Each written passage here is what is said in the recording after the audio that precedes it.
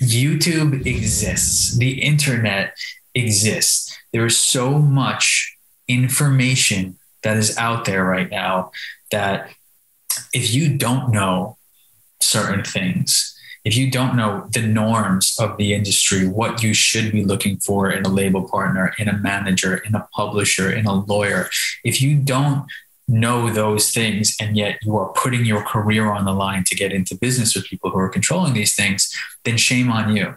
Hey everyone, this is Profesh the podcast, and I'm your host, Sophia Welch. Every week, Profesh is presenting conversations with smart, successful, no BS music industry professionals, all with the goal of helping new artists and those who support them build their creative careers with great advice, stories, tips, and insights. Today's guest is Chris Maltese. He's the head of artist services at the US division of Believe, the label and distribution company, where he currently builds out and oversees multiple labels.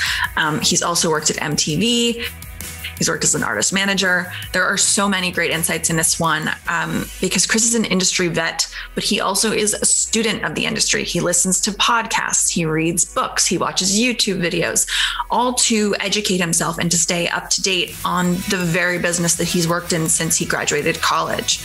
Um, so we talk about his key takeaways from every chapter of his career.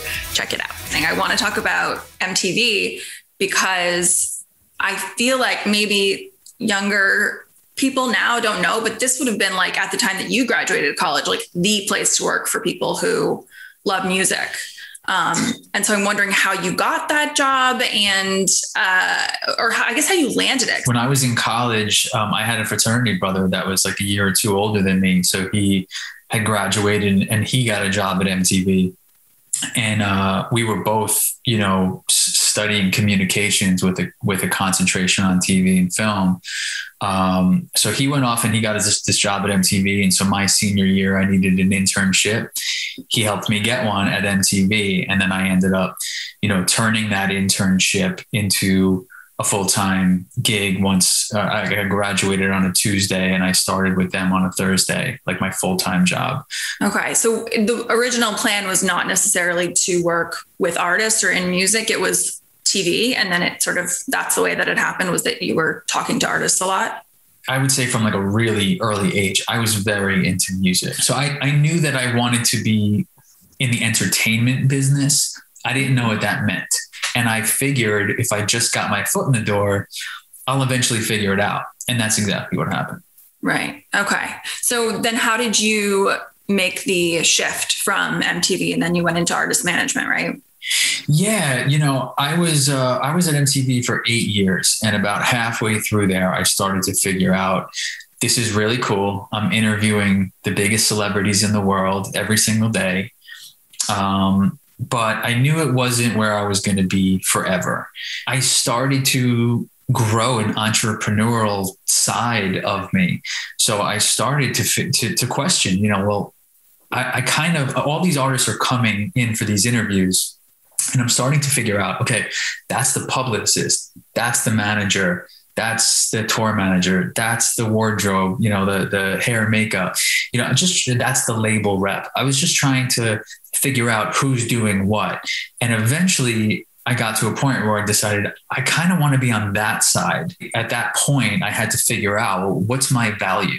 If I was going to work with an artist today, what could I bring to the table? I don't work at a record label. I'm not a stylist. Uh, I'm not a publicist. Like, what what is it that I could do?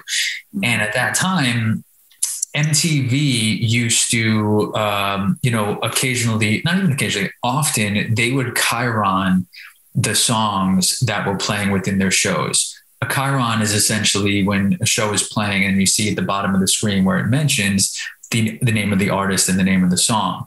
Mm-hmm. So I figured, oh, well, I could maybe help get some artists onto MTV shows, and that's great exposure for them. So I started to do that. Those syncs, you know, wound up leading to phone calls from record labels and lawyers and managers for these artists who wouldn't know how to handle it because they weren't, you know, they were nobodies. So they would call me back and say, Hey, I got a phone call from this guy because you got my my song on that show. Could you take this meeting with me, or can you call him back and like see what he wants to do, or you know? So I kind of like inadvertently fell into the management thing. So at that point, I decided, okay, I'm just going to try. Like, let me just see what happens.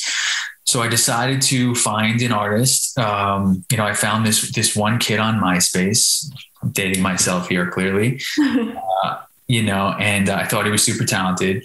Initially, reached out about you know maybe you know let me see if I can get my songs or I'm sorry your songs on our TV shows, and eventually I convinced him to just let me manage him. And I was you know, part of my sales pitch, I, I, was just so naive at the time. I was like, look, let me manage you. You know, we'll get to number one on MySpace. We'll, we'll, you know, we'll showcase in front of all the labels. We'll sign a label deal.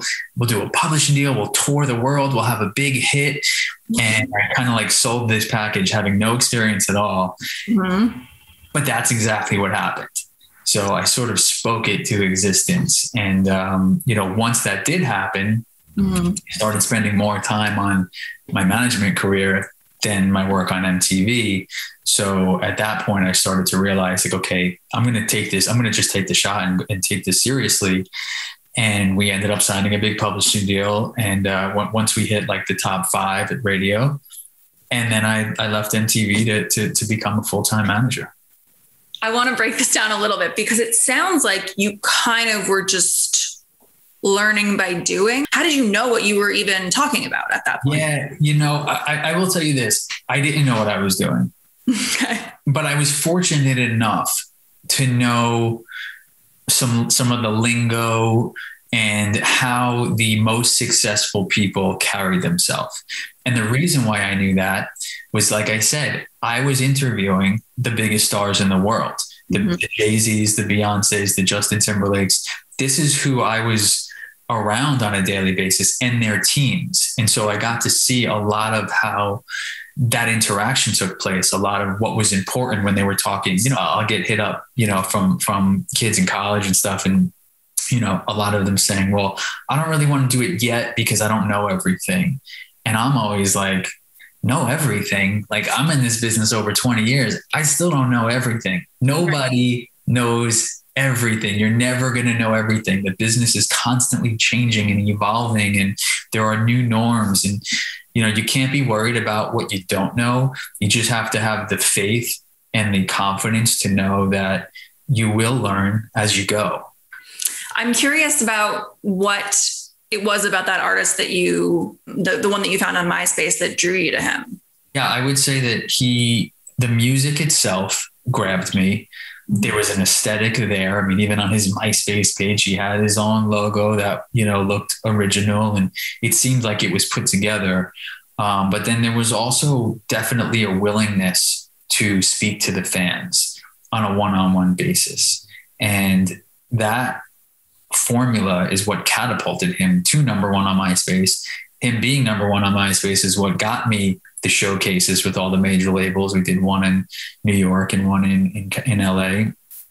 And then those showcases is what eventually led to his deal, which eventually led to the success. So, you know, it really started with, with again, with his music, um, the aesthetic, but then really his, his ability to market himself by putting himself out there and speaking uh, to the fans on a one-on-one basis. You mentioned you saw how the artist managers carried themselves, and so going off of that, I, I would love for you to expand on what you mean by that, but also, you know, what makes for a good artist manager? Sure. I mean, the, the first part of that question, in terms of what I saw from, you know, just being on a different side of the business back when I was in MTV, was there's a certain level of professionalism. And I can see that the entire time that these guys were in my presence, their sole focus was their client. Their sole focus was does everything around look right? Are, are, the people in the room supposed to be in the room? Are there, you know, is the car going to be ready as soon as we're ready to leave here? Like it was a level of attentiveness that and professionalism and the way that they spoke to the, you know, the other staff members um, that I feel like it's, it was very quick to see that it wasn't just like the artist had their friends around. The manager was the business guy the manager is the one that was overseeing everything.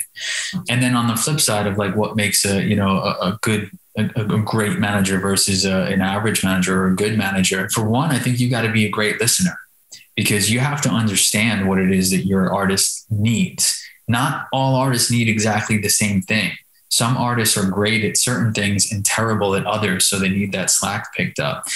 You know, so I, I would say like developmental artists, like the artists that are still just kind of getting started, they sort of need help with everything. Everything might mean they don't even make it to their sessions on time. Like you, you may have to physically get them out of bed at times. Like there's just a different level of what an artist needs. And as a manager, you need to understand what all of those needs are and either be able to um, you know circumvent the issues before they happen or have other people around to do that. And then the other thing is it kind of goes back to what i was saying before is that you have to understand that you don't understand everything because there's just no way to know everything and that's okay.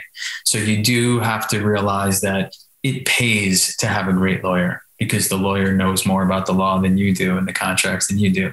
It pays to have a great, you know, booking agent because you're not going to be the one booking the shows. And even if you are right now, if your artist grows, you're not going to eventually. It pays to have all the other, you know, pieces in place. It pays to have a great relationship with your label because you want them to be on your side and paying attention because they can really easily forget about you. All of those things. And then last thing I would say is just being a great human being. You know, musicians are for the most part, you know, they're they're they're fragile people. They're they're emotional. They're, they're they pour their heart out through their art. So you, I think being a good person and being a good human being and showing that you're trustworthy um, and showing that you care. I mean, that's half the battle. I, I can't tell you how many uh, how many you know relationships I've made throughout this business sometimes with me just giving without ever asking for anything back, knowing that down the line at some point I'm going to run into this person again. Like I want to be on great terms with them. There are so many people I've seen go from interns to running their, you know, full companies. So it's uh you always want to be a good human being. Yeah, I like that. I think it's you know, we talk a lot in this podcast about like what you need to know and the business side of things and what you can and can't say and do and I I think that's so nicely distilled. It's just like, just be a good person, be good to people because that people don't forget that. That goes both ways. If you're an artist that is just super difficult and you make everybody else's job around you like harder, mm-hmm. people don't want to go the extra mile for you when you're, you know, not a great human. And I can tell you that too, like being at MTV, same thing. Like there were certain artists and celebrities who had reputations. Some of them not so great, some of them phenomenal. And when it came time for opportunities, like there were always conversations about like, oh, that one is so great to work with. Let's get them in here. Mm-hmm. You know what I mean? So it's I just feel like you always want to um, you know, regardless of what side you're on, what you know, what your role is, I think being a good human is is going to get you a lot farther than you know always just looking out for your best interest and being miserable. All right. So now you're under this, like we spoke about, this TuneCore Believe umbrella. You're building out and overseeing multiple labels. I'm wondering what things you have to consider now that you did not have to consider as an artist manager. It's a great question. And just just to be clear, so I I head up the US division of Believe for their, their label services division. Believe is the company that owns TuneCore. So TuneCore is, you know, straight DIY distribution. We're all one happy family. I, I talk to those people all the time. Uh, there is a lot that we do intersect with. Um, but yeah, I'm really running the label division of, of Believe. Uh, but that being said, um, you know, some of the things that we look for on the label side versus being a manager is you know when you're when you are the manager you are tied to every revenue stream that there is. So if the artist is touring you're making a commission on that. If merch is sold, you're making a commission on that. If he's doing a publishing deal, you're making commission on that. Your record sales, your brand deals, uh, licensing. There's so many different revenue streams that you're looking at when you're a manager. On the label side, you know, we're making our money essentially almost entirely from streaming at this point. We're not involved in the touring, we're not involved in the merch, we're not involved in the publishing.